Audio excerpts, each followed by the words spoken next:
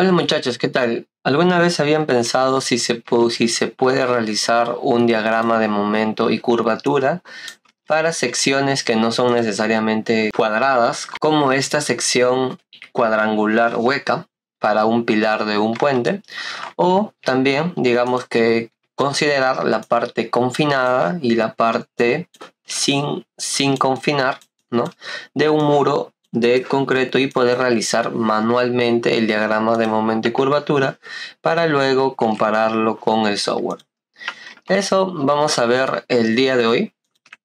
Eh, este video parte como un tercer video más o menos. Igual vamos a dar un pequeño resumen como para recordar y básicamente parte del de, el método de fibras, el cual es un método bastante potente para poder realizar eh, estos diagramas de momento y curvatura para cualquier forma geométrica. Cuando les comento de que parte de otros videos es porque este de acá vendría a ser el video 1 y este de acá vendría a ser el video 2. El que vamos a ver el que vamos a ver ahora prácticamente es un video 3 porque ya ve temas un poco más complejos o un poco más diferentes digamos asimismo eh, recordemos de que esto esto esto de acá eh, por ejemplo eh, puede ser parte de la base de un, de un muro, ¿no? Que también, se, que también se podría dividir en tres secciones, ¿no? La primera parte confinada y la segunda y la tercera sin confinar, digamos. También podría ser de que mediante este procedimiento uno puede ensayar también muros, ¿no? Pero esto ya, ahora, eh, el ensayar muros también se puede, o sea, ensayar cíclicamente y, obtener todo el lazo histerético, ¿no?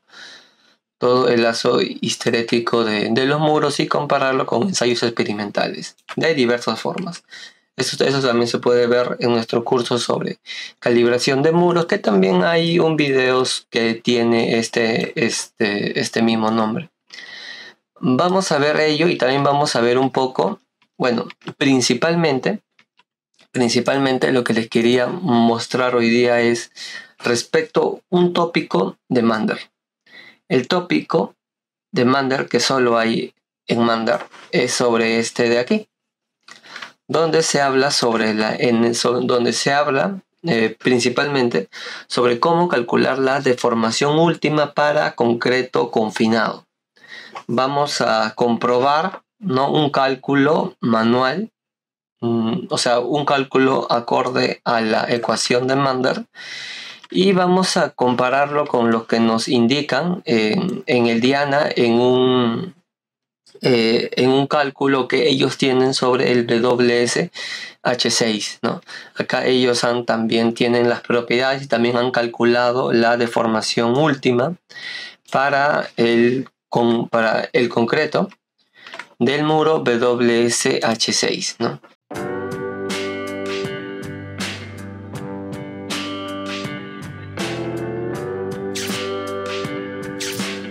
Eh, entre las conclusiones de este video, básicamente sería mostrarles este de acá. Sería mostrarle el resultado entre el cálculo manual y el cálculo del SAP. Este es un, este es un caso especial que luego vamos a comentar porque no sale completamente igual. Y estos sí son, digamos, otros casos eh, en los que sí sale completamente igual. Este también podría salir igual, pero eh, acá eh, he querido mostrar algo más. Ahora dirán, ¿por qué hay tres casos? no? Es porque el primero es con una carga axial de 0,1 F'C por el área, el segundo es el del 0,3 y el tercero es el del 0,5. Entonces, en ambos casos sale bastante, en los tres casos sale bastante similar, solo que como les comenté, en el primero hay un temita ahí especial, y por último, también tenemos acá una comparativa en el caso del muro, ¿no? Cómo es en el caso en que se hace de forma manual, cómo es en el caso en, el que se hace con el, con el SAP 2000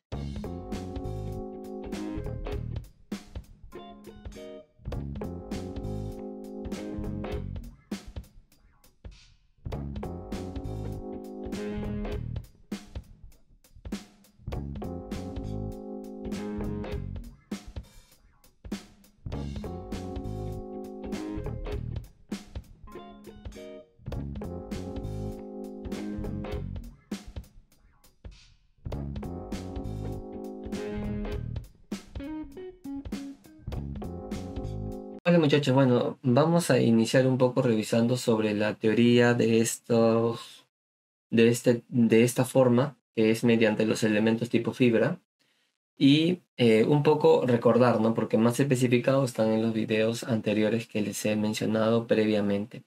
Básicamente, este tipo de modelo se basa en que yo voy a dividir, digamos que la sección en pequeños trocitos, ¿no?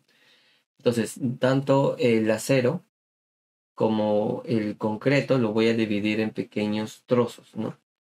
Aquí em, estoy poniendo como que el concreto como una línea, pero también podría ser como un puntito, ¿no? Y de forma igual eh, el concreto se divide como si fuera elementos finitos en varias pequeñas franjitas, ¿no?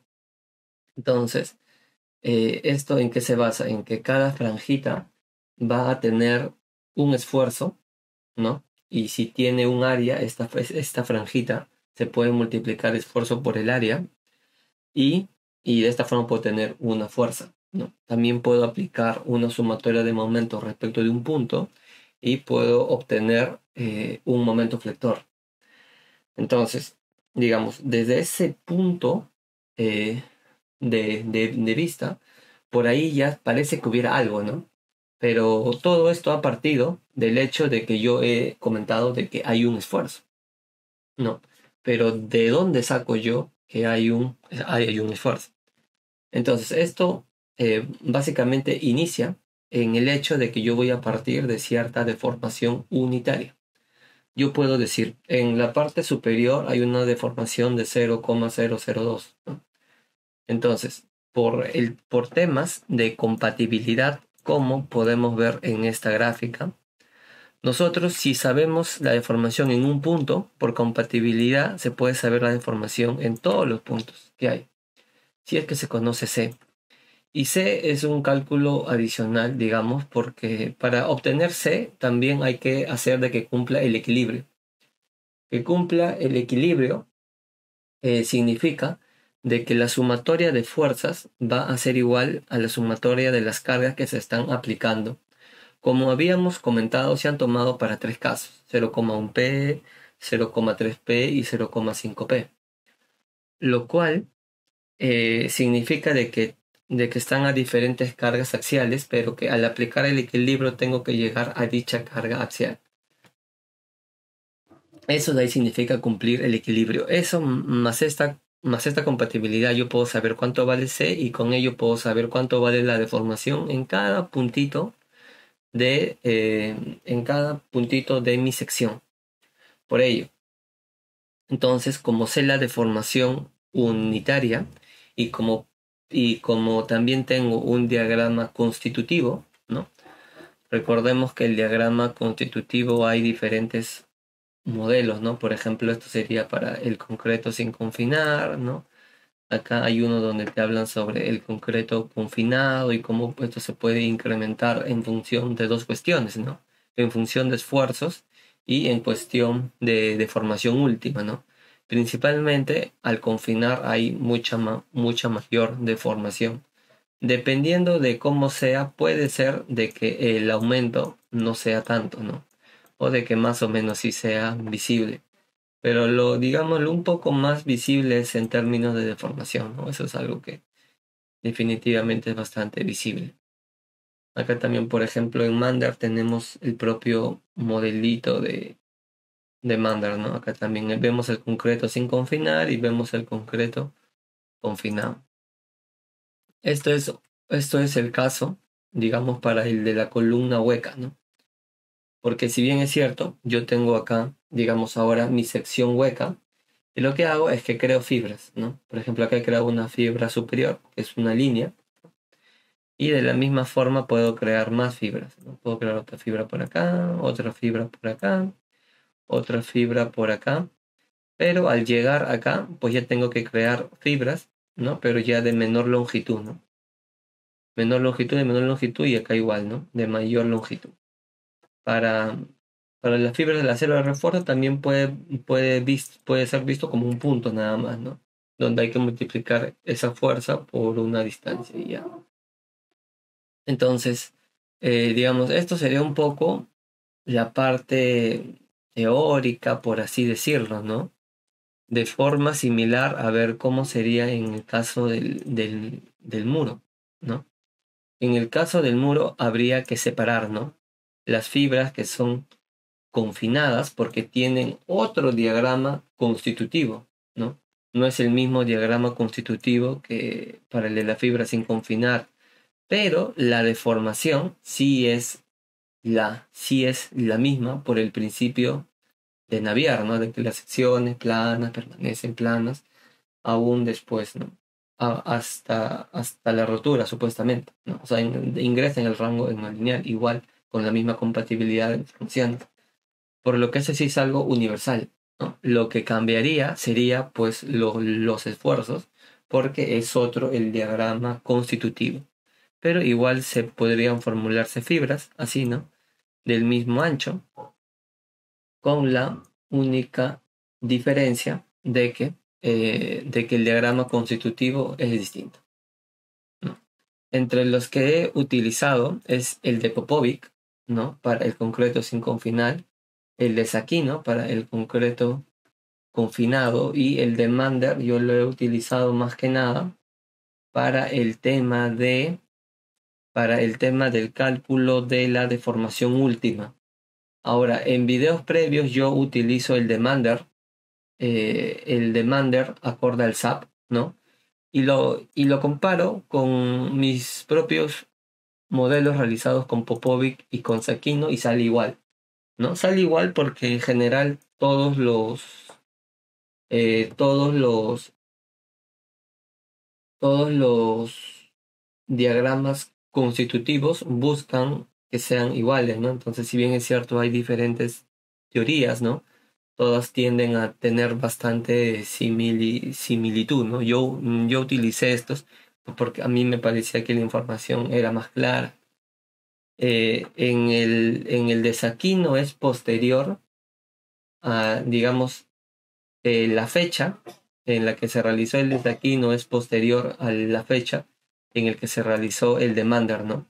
Pero aquí hay una diferencia que en el de Mander sí te brindan una, una ecuación para el cálculo de, de la deformación última, lo cual es algo que no he visto en otros lados, ¿no? Entonces sí sería necesario el demander para el cálculo de la deformación última para el concreto confinado. Dicho esto y que cada modelo se ha analizado un poco más en otros videos, vamos a empezar a ver un poco ya sobre los cálculos. Bueno, vamos a iniciar viendo un poco por qué acá sale más y el otro sale menos. Eh, esto es básicamente porque eh, este es el de 0,1p. Lo, el procedimiento, como más o menos habrán visto, pues este, el modelo de 0,1p se realizó sin, sin considerar el confinamiento. Entonces, eh, acorde al SAP, me botaba este gráfico grande, ¿no? Este de acá. Pero, ¿cuál era el problema con este gráfico tan, digamos, extenso? Si uno lo considera, era que las deformaciones que te botaban en sí eran, eh, acá por ejemplo, concrete strain, eran deformaciones muy grandes, ¿no?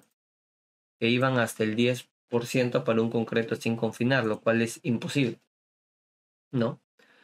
Entonces, eh, bueno, esto es imposible, pero sin embargo te, te, digamos, te indicaba hasta ese valor, ¿no? Un concreto sin confinar a lo mucho llega hasta 5 por mil, mm, más o menos, ya por ahí tal, tal vez un poquito más, ¿no? Pero ya no mucho, o sea, 5 por mil sería más o menos el límite, ¿no? Más o menos lo convencional que uno conoce es 4 por mil, si es que cita a Honeston, y en, las normas normalmente te hablan de un 3 por mil.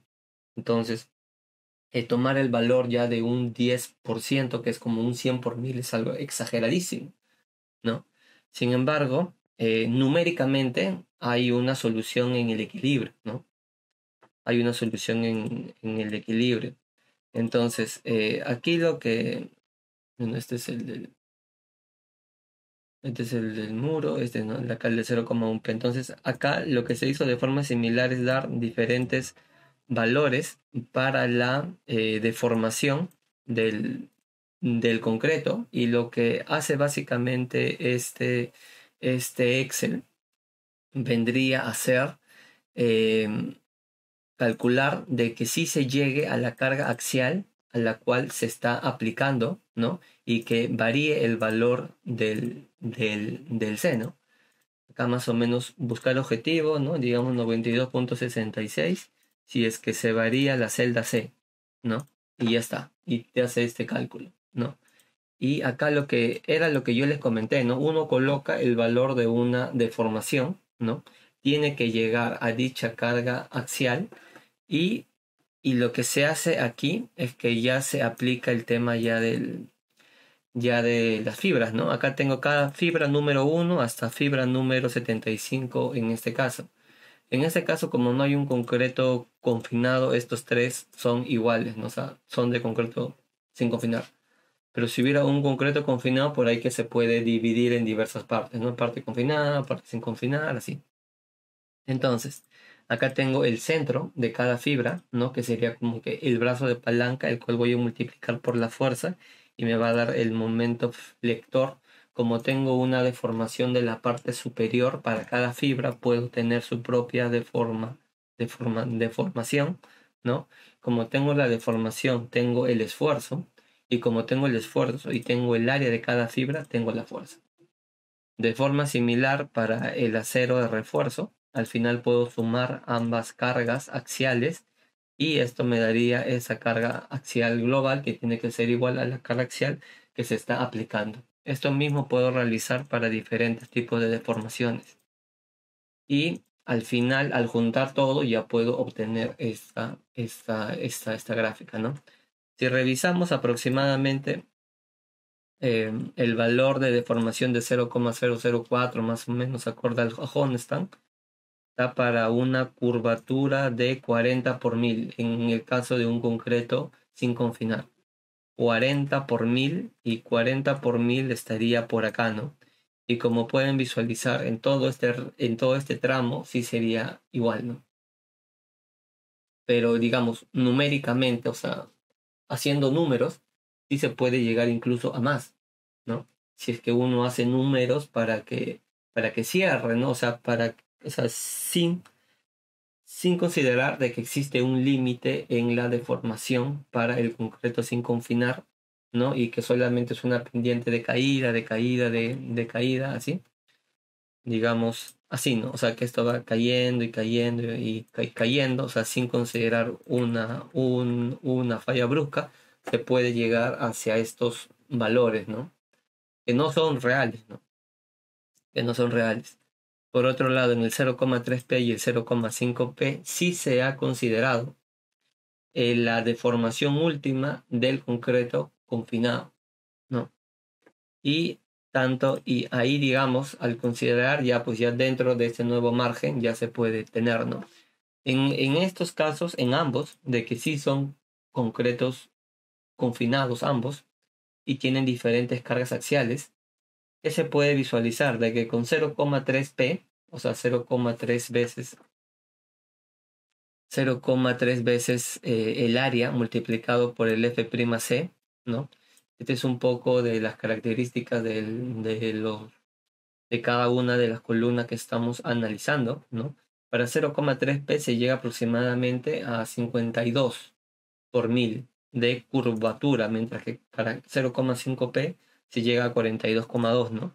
Vemos de que disminuye un 10 por mil al, al incrementarse la carga axial. ¿no? Entonces, eh, esto de acá vendría a ser, digamos, también una de, una de las consecuencias, ¿no? Al aumentar la carga axial, eh, lo que pasa es que, mira, acá también llega hasta 140 y, y con 0,5 llega hasta 190. Entonces, incremento la carga axial. ¿Qué es lo que pasa? Se incrementa la resistencia, o sea, hay mayor momento flector, pero también se disminuye la ductilidad. Entonces, eso de ahí vendría a ser, digamos, alguna de las diferencias que se obtienen. Ahora vamos a ver un poco sobre el tema de la deformación última acorde a mandar. Bueno, para la corroboración del, del SAP, lo que yo básicamente hice es ingresar el modelo constitutivo, el acero de refuerzo, y luego ya se le da aquí, ¿no? Se le coloca la carga axial a la cual está sometida, que es 268. Luego al número de puntos suelo agregarle un 0. Y con ello ya tengo este nuevo valor, ¿no? Acá ya tengo esta gráfica. Y lo que hago es que voy a details, ¿no? Bueno, acá se puede ver, ¿no? Más o menos 140 y llega hasta 48, 50, ¿no? Que más o menos es este de 0,3p, ¿no? Que llega hasta un poco más de 50. Lo que yo, yo le doy a details, acá tengo todos los resultados, lo copio y lo pego, ¿no? Y luego solamente me quedo en este caso con los resultados de eh, los resultados de momento y de curvatura, ¿no? Como pueden ver acá, 140 llega hasta un poco más de 50 y es igual, ¿no? Que esto que vemos acá. Como para que vean que de verdad, o sea, sí lo he realizado, ¿no? Bueno, siguiendo un poco con el tema del cálculo de la, de la deformación última, eh, lo que se ha partido, digamos, para tener cierto, o sea, normalmente cuando yo suelo realizar un trabajo o algo, me gusta tener como que corroborado, ¿no? Entre comillas. Entonces, a veces lo puedo corroborar con el SAP, ¿no? Mis cálculos manuales, pero para la deformación última, también uno se puede preguntar, ¿y cómo lo puedo comprobar este valor de, de deformación última? Entonces, la forma en la que he encontrado de cierta forma comparar y ver que los valores que yo obtengo no son valores que se salen de la realidad, ¿no? Es porque acá el mismo Diana también había hecho algunos ensayos, ¿no? En este caso del muro WSH6 tengo yo sus datos porque también estos datos parten de este documento donde de el de Dacio donde se analizan seis muros, ¿no? Donde el WSH6 acá tengo todos sus tengo prácticamente todos sus datos, tengo todos sus valores, ¿no? Entonces sí puedo, digamos, hacer una comparativa y ver cuánto me sale a mí y cuánto sale aquí. Y con ello es saber qué tan lejos estoy o qué tan cerca, ¿no? Esa idea que yo tengo, ¿no? Entonces eso es exactamente lo que vamos a ver ahora. Obviamente, mediante ese aquí, ¿no? Podemos obtener dos, bueno, se puede obtener cuánto vale el nuevo valor del, del esfuerzo máximo. Si esto fuera el inicial, lo que se puede obtener es este pico que tenemos acá, ¿no? El nuevo esfuerzo máximo y cuál sería la nueva deformación donde se encuentra el esfuerzo máximo, ¿no? Eso es un poco lo que nos brinda Aquino. Y entre sus parámetros, lo que necesitamos, pues vendrían a ser, digamos, que las dimensiones de los elementos, el diámetro del, del estribo, el diámetro del acero, vertical, cuál es la separación entre los, entre los estribos, cuál es la cuantía volumétrica, es decir, el volumen que hay en estribo dividido sobre el volumen de masa de, de concreto en un, en un metro, cuánto es el esfuerzo de, de fluencia del, del estribo, el valor del, del C, que digamos vendría a ser cuál es la separación mínima entre entre las barras, ¿no? Por ejemplo, en este caso, por acá tengo un valor que será, no sé, 12, probablemente 11. Eh, por acá tengo otro que vale 10, ¿no? Entonces se toma el menor, 10. y por eso dice 10, ¿no? El DDC vendría a ser este, este valor tomado más o menos al, centro de los estribos, ¿no? Que ya con los demás datos ya es, ya es eh, calculable. Luego está el F'C, ¿no? Que ya es un poco lo que lo que se tiene, ¿no? De el F''C, esto es 45 kilo, kil, mega, megapascales, ¿no? 460 en, en kilogramos. Y mediante esta ecuación lo que se puede obtener es el nuevo esfuerzo, ¿no? Entonces, el nuevo esfuerzo obtenido aquí es este de 614, ¿no? En megapascales sería 60 megapascales, ¿no? Y acá sale 63. O sea, es un valor cercano. No sé acá cuál. Acá tampoco no te hacen mención de cómo lo calculan, de cuál es el modelo, ni nada, ¿no? Pero como les comenté, si uno trabaja con algún modelo, pues tiene que salir similar, ¿no? Entonces en este caso sale 63, en este caso sale de 60, ¿no? Entonces ahí vemos eh, un valor eh, similar en orden de, de magnitud y con muchos, digamos, eh, variables, ¿no? Que, que, también son los que se suelen utilizar en, en. Entonces, luego viene otro tema, que era el tema que habíamos comentado, para poder calcular la deformación última, ¿no? Lo que nos comentaba Mander era básicamente esto que vemos aquí, donde finalmente se llega más o menos a esta ecuación, donde lo que te indica es que la energía global que se va a desarrollar durante todo el proceso va a ser igual a la energía completita del concreto confinado, ¿no? Más la energía que va a disipar el, el estribo porque el confinamiento explota cuando el estribo ya se, se, rompe, menos, el, con, menos la energía del concreto sin confinar. Y esto es básicamente a lo que se va a llegar, ¿no? Esto sería la energía completa. Y por otro lado, también hemos calculado la energía confinada y la energía sin confinar, ¿no? La energía confinada la vemos acá y la energía sin confinar la vemos acá. ¿Y cómo se ha calculado? Básicamente se hizo el método trapezoidal, ¿no? Como tengo diferentes puntos, formo un trapecio y le calculo el área al, al trapecio, ¿no? Entonces acá lo que vemos es el cálculo de un, de un, de un trapecio para calcular el área, o sea, para calcular, digamos que la energía. Luego finalmente sumo hasta el valor de la deformación última que que he considerado, ¿no? para el concreto sin confinar si sumo todo porque se supone que, el, falla después, ¿no? O sea, el concreto confinado después.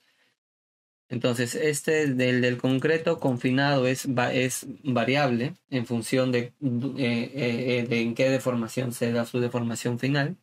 El concreto confinado, como siempre, la deformación final confinado es superior al 4 por mil, entonces ahí sí, sí se toma todo siempre, ¿no? Y esto será como que la energía disponible, o sea, la energía global, que sería 110 veces el valor de la cuantía volumétrica que se tiene aquí. Entonces, eh, la energía disponible finalmente luego de sumar y, y restar al pasar estos, esta, componente, esta componente y esta componente hacia el otro lado, ¿no? Finalmente quedaría este valor y este valor, digamos, es la energía disponible para que, para que, se, para que disipe el, el, estribo, ¿no? Más o menos el estribo, supongamos que tenga esta forma, entonces hay una primera parte que es eh, la parte ya de fluencia y luego hay una parte plástica, ¿no? Entonces, eh, toda esta área tendría que llegar hasta cierto valor donde, la, donde se complete toda esta energía, ¿no? Entonces habría que hacer dos cálculos, ¿no? Uno de un triangulito y el otro de, el otro de una sección eh, más, más plana, una sección elastoplástica, o sea, un rectángulo prácticamente. Eh, luego, digamos, al sumar esta deformación elástica más esta deformación plástica, donde se llega a la energía, no, acá, se ve que acá está, ¿no? Esta energía, porque está disponible, pero luego se le resta el de la parte elástica y luego finalmente quedaría este, ¿no? O sea, se le resta el triangulito. Y quedaría este para la parte ya del rectángulo y se obtiene el valor de 0,0115. O sea, la deformación final estaría a 1,15%. Acorde a lo que se ve acá es 1,3%, ¿no? Sí hay una pequeña diferencia pero salen valores eh, razonables en general y, y, el procedimiento y todo, ¿no? Como les comenté, no sé exactamente qué habrán con, considerado, ¿no? Para el, para el cálculo, pero el valor pues sale por ahí, ¿no? Y en general el procedimiento cumple con tener variables apropiadas y con un y, y estimando la falla apropiadamente en la ruptura de los estribos por lo que a mi parecer y por lo que he venido utilizándolo, sí tiene valores eh, razonables que tienen, tienen sentido. Y bueno, Eso de ahí sería, digamos, respecto al concreto, respecto a la deformación última, ¿no? Por último, vamos a dar una revisión a los muros. Por último, vamos a analizar un poco sobre el diagrama constitutivo, mejor dicho, sobre el diagrama de momento y curvatura para esta parte ya del muro, ¿no? Que es un concreto eh, confinado, ¿no? Para esta parte vemos que hay un comportamiento sin confinar, hay un comportamiento confinado y también hay un tema que vendría a ser la consideración de las fibras, ¿no? que se consideran, como les comenté, partes confinadas y partes sin confinar. ¿no? Entonces, de igual forma, acá eh, Acá también, pues cada uno tiene sus propias distancias, cada uno tiene sus propias deformaciones, áreas, ¿no? En función de su, de su ubicación, ¿no? Como se pueden ver acá, las fibras para el concreto confinado son las que se encuentran en los extremos, ¿no? Pues tienen valores de 59, 55 hasta 44 y luego ya vienen las fibras sin confinar, ¿no? Que están ya más en el intermedio así en positivo como en negativo porque son lo que se encuentran en ambos, en ambos, en ambos extremos máximos. ¿no? Lo que nosotros estábamos viendo acá es todavía el del sin confinar porque acá este esfuercito es el mismo, ¿no? Así que estos resultados son del sin confinar. La diferencia con el confinado sería que acá y acá habría que modificar y su deformación última, ¿no? Habría que modificar estos, valores y revisar la deformación última que no se exceda. Con esos valores para el concreto confinado lo que se obtiene es este resultado, ¿no? manual y acorde al SAP 2000. Pero está en inch y en kips, así que acá hay que pasarlo, ya lo puse en kips y en inch. Acá 200 puntos, 90 grados y la transformación es de menos 94. Porque la carga axial es de 42,43, ¿no? Ahí en Kips es, 94, en negativo porque es a compresión, y a 90 grados, ¿no? Si copiamos y pegamos, lo que obtenemos es esto. Hasta acá tal vez se preguntarán, ¿y por qué esto está que sobresale, no? Eh, bueno, esto tiene, digamos, acorde al SAP más una mayor deformación, pero es porque el SAP hace un cálculo numérico y te está llevando el concreto hasta valores que no tienen tanto sentido, ¿no? Por ejemplo, vemos que los valores finales para la deformación del concreto llega al 5%, lo cual es imposible incluso en el concreto más confinado ya de todos, ¿no?